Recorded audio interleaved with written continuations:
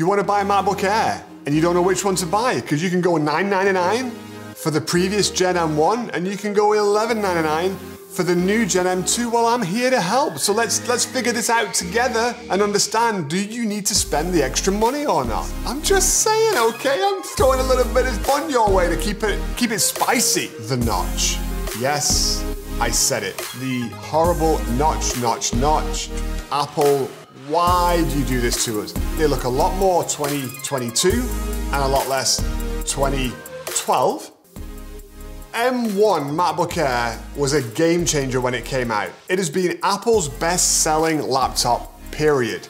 I think some of that is because it's also the least expensive. Call me old fashioned, but some of us still have to buy our own gear, and it's important that we can actually afford it. So that may be a part of it, but there's no doubt about it, the M1 chip was a game changer. It was a lot more powerful, using a lot less power, and therefore delivering a lot more battery life than the previous Intel MacBook Airs that existed. We are talking about a device that literally, for me personally, changed the way I interact with my laptop. It used to be that I would always stress, like I do with my phone, did it charge overnight? Is it 100% in the morning? With the M1 MacBook Air, I found that I didn't need to do that anymore. I would go days without charging it sometimes.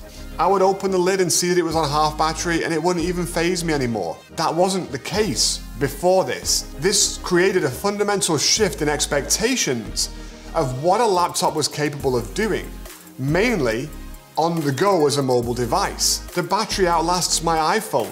The battery outlasts pretty much everything.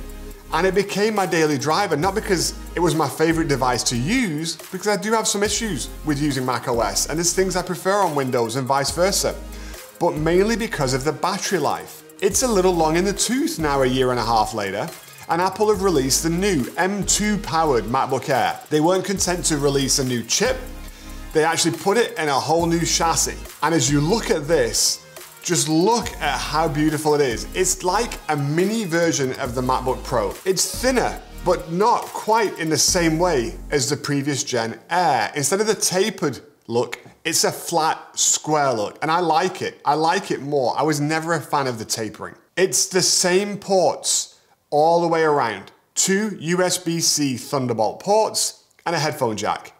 The main difference here on this exterior is that now you've got the MagSafe charger back. So instead of using a USB-C port to charge, you now have two USB-Cs plus a charging port. So in real terms, Apple gave you a port back. And that's important. Do you like that?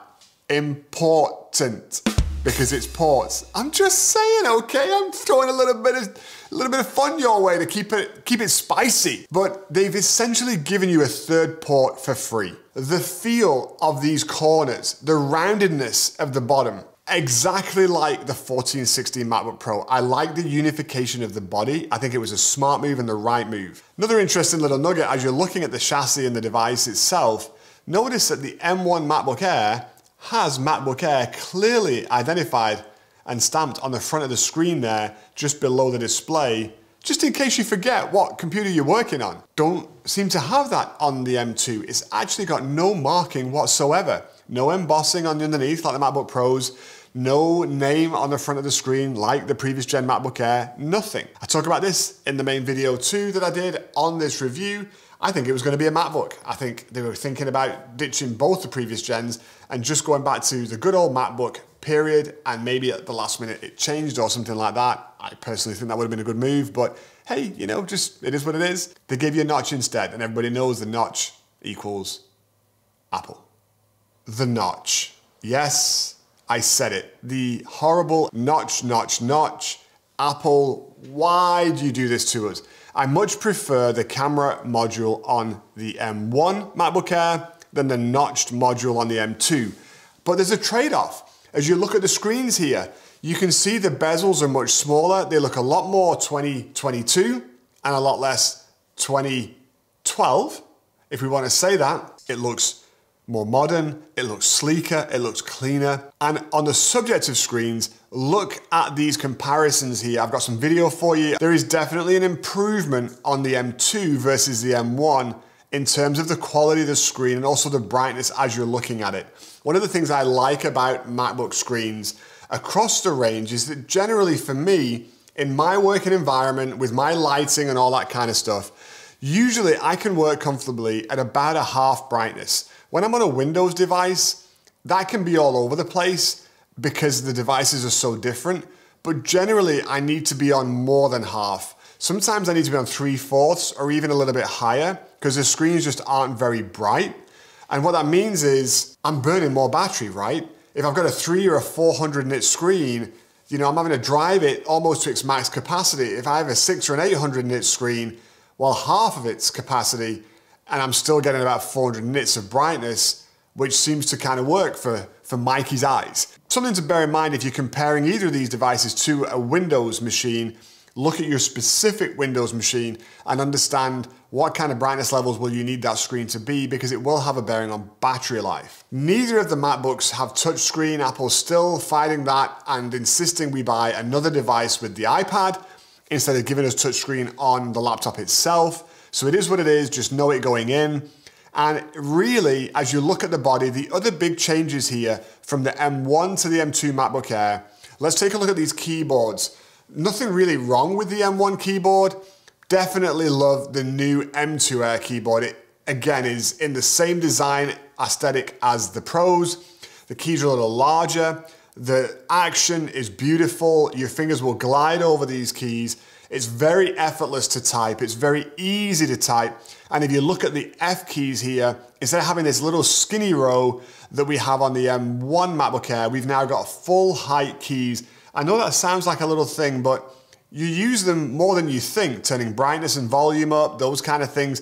It's just nice to have a regular size key that you, you solidly hit every single time. Trackpad doesn't really feel a whole lot different to me. As I look at that, the haptics are great. We know Apple makes great haptics, and it's a nice big trackpad. From an exterior perspective, you know, that's really the main differences between the two. And make no mistake about it, you're paying the $200 for the exterior. The difference for the M2 chip versus the M1 is not that great. Is it better? Sure it is, it's the M2, but it's manufactured on the same process as the M1, so I like to think of it more like an M1 on steroids rather than a completely different chip. Still 8 gig 256, but the storage at 256 is actually slower than the MacBook Air previous gen. They used to have two 128 modules in there that you could write and read simultaneously. That's quicker than one 256 module because you know the highway can only have so much traffic. And I think that's a bit of a, a black eye here for anybody looking at the lower spec base model, which I think is the majority of people buying this. You are getting a slightly inferior product there on the drive. Webcam improves 1080p versus 720p, so you're gonna look a little bit, a little bit prettier a little bit nicer, brighter maybe, you know, step in the right direction, but you're paying for it, right? And that's really the challenge with this. Because if you start to spec it out and go to the higher end, you get dangerously close in price to the 14 inch Pro. And interestingly, while we're talking about these price differential and how you can get carried away when you're specking these out, check out this comment here from Miko Haranen. Hope I'm saying that right. But I think this is going to be the reality for a lot of people. You know, we get carried away, we do these upgrades, we spend all this money, and then reality sets in. It's like, whoa, hang on a second. How much did I just spend? And I didn't really get anything meaningfully different for it when I could have spent so much less and still been able to do everything I want to be able to do. And I think the Apple of today has created that kind of an issue. And in the real world, for those of us that, you know, work hard and save to buy these things, it matters. So choose carefully my little Padawans. I don't know that the chip alone would make me want to spend another $200. It's about 18, 20% quicker, and that sounds like a lot, but in single core performance, for the majority of day to day things that you and I are going to do, it really isn't that much better. In multi core, there's a little bit of a jump, but this M2 is not the generational leap from M1 that M1 was from Intel. Ultimately, your decision is really going to be based more around do you like the look and feel of the new one over the old one enough to pay 20% more? Interesting, 20% improvement in the chip, 20% improvement in the price. Wonder if there's a correlation there or not. What do you think? Coincidence or Clever marketing. Let me know down below. Do you like this new shape and the colors? But let me warn you on the colors, and I talk about this in the main review. The blue MacBook Air M2 has issues. There are a lot of people talking about scratches in a week around the USB-C charging port and beyond. This does not look like a durable finish on this device. So if you were thinking, oh, I want the blue one, I gotta pay the extra money, Mikey's advice is don't buy the blue. Starlight is another new option, but it's not that dissimilar to the silver. And so again, colors aren't really gonna be the driver here. It's really down to, is that 0.3 inches larger screen that's a little bit nicer and a little bit brighter with a slightly nicer keyboard, a slightly nicer chassis, worth the extra or not? I don't believe there's even a conversation here. The M1 is a capable machine. It still runs everything you're gonna wanna run today and most likely will for tomorrow at $200. For me, it's a coin flip. Is it a coin flip for you between the two? Let me know what you think. Let me know why you think it so it helps other people with their decision making process. And check out these cool videos over here if you want to see more M2 MacBook Air. Till next time, there and be amazing.